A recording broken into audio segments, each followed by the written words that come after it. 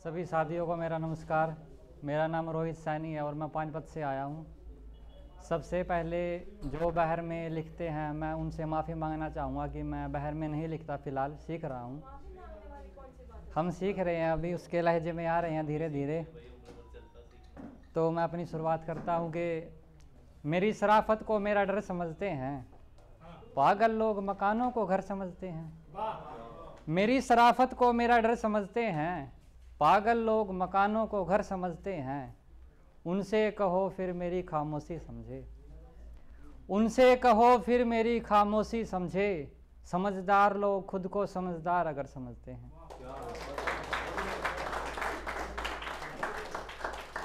तो सुनेगा कि, ऐब से भरा हुआ आदमी हूँ, सच में गिरा हुआ आदमी हूँ। ऐब से भरा हुआ आदमी हूँ सच में गिरा हुआ आदमी हूँ। सब अच्छा क्यों बोल रहे हैं मुझे? सब अच्छा क्यों बोल रहे हैं मुझे? मैं क्या मरा हुआ आदमी हूँ?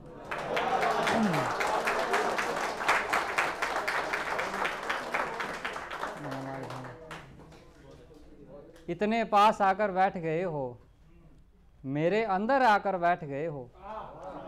इतने पास आकर बैठ गए हो। मेरे अंदर आकर बैठ गए हो। मंदिर जा रहे थे ना? मंदिर जा रहे थे ना, उसके घर जाकर बैठ गए हो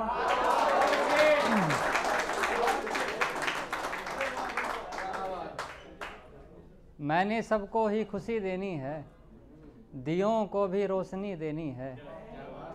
मैंने सबको ही खुशी देनी है, दियों को भी रोशनी देनी है। तू मुझे कुछ भी ना बताया कर। तू मुझे कुछ भी ना बताया कर, तूने हर खबर सनसनी देनी है। तू मुझे कुछ भी ना बताया कर, तूने हर खबर सनसनी देनी है। मैंने कर लिया है सौदा आसमां से। मैंने कर लिया है सौदा आसमां से। बदले में उसे सारी जमी देनी है। और आखिरी ख्याल है इसमें कि रेगिस्तान ही मेरी प्यास बुझाएगा अब।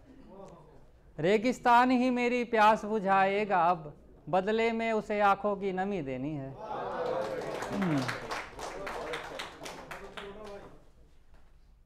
सब पूछते हैं, मुझसे मैं हंसता नहीं।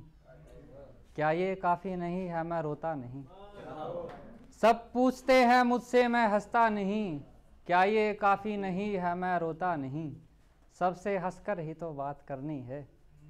सबसे हंसकर ही तो बात करनी है। ये काम भी मेरे बस का नहीं।